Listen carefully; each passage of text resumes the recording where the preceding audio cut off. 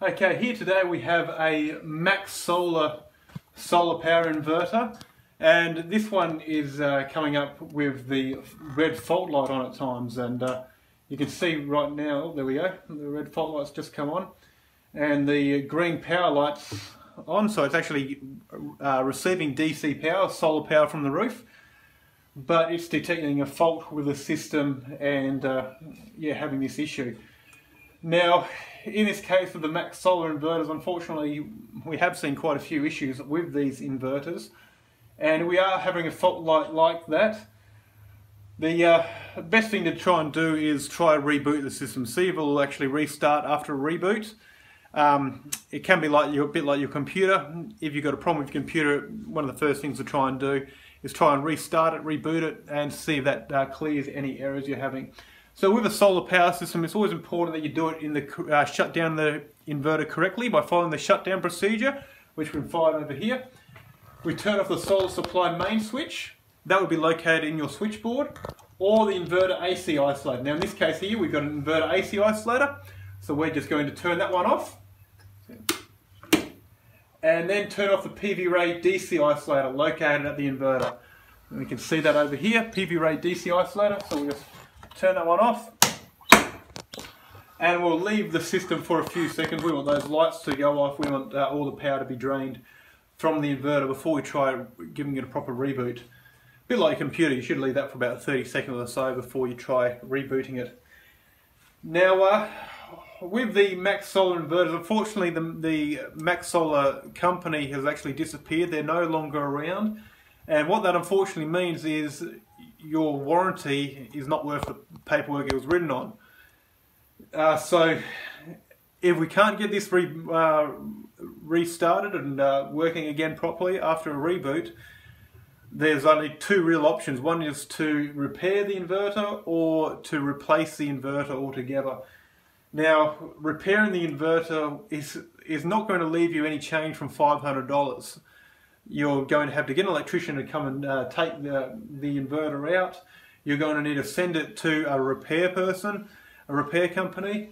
They're going to repair it, which is going to cost you quite a bit of money. And then you're going to have to get sent back and reinstalled by an electrician. And so that's not going to leave you a lot of uh, spare change from $500 and you've still got an inverter which unfortunately is of inferior quality and with no warranty. So in my opinion, you're much better off to just uh, bite the bullet and replace your MacSolar inverter with a quality replacement unit. So we'll just, look, before we go down that line anyway, we're just going to try rebooting this system now, restarting it, and um, the shutdown procedure is always very important with solar power systems, but the startup procedure doesn't matter too much. So we're just going to turn on the AC here first, and then we're going to try the DC.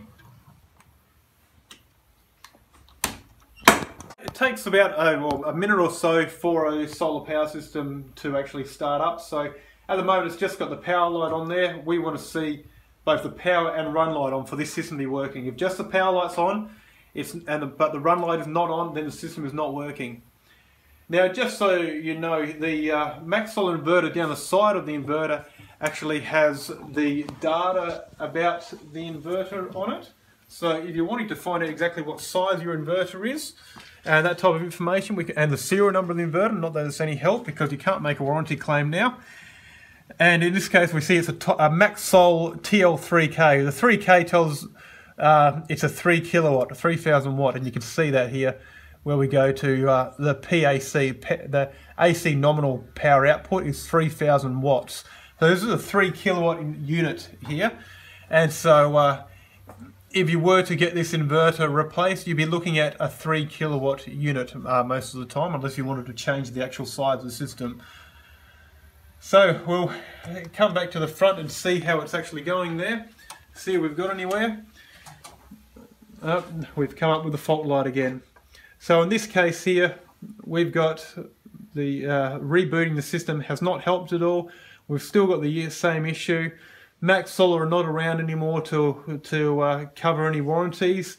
And so I'd be recommending to this customer to replace this inverter with a quality uh, 3 kilowatt solar inverter, which is a full warranty and uh, will provide a lot of years of a lot more years of trouble-free service. So look, if you've got a MacSolar which is coming up with this type of issue, I'm sorry to hear that. Uh, if you need any help, feel free to call Gold Coast Solar Power Solutions. We're there to help with just this type of thing. And uh, look, we can help you get your solar power system back fully operational again as soon as possible. Thanks very much for taking the time to watch this video.